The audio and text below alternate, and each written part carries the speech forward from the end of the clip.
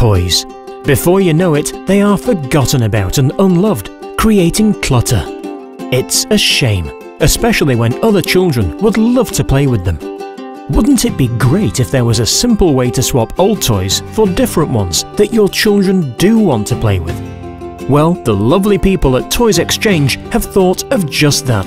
They've created an easy-to-use app that makes swapping toys and games simple.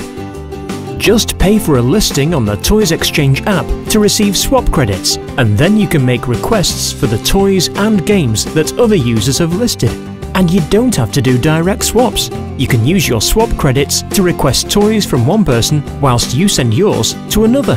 You can even post details of items that you want, providing a new home where the toys can make lovely little people very happy. Even our special postage rates will put a smile on your face.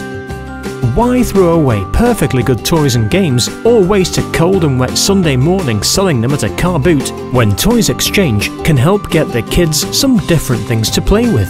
Go on, be a proper swapper. For more details, visit www.toyzxchange.com.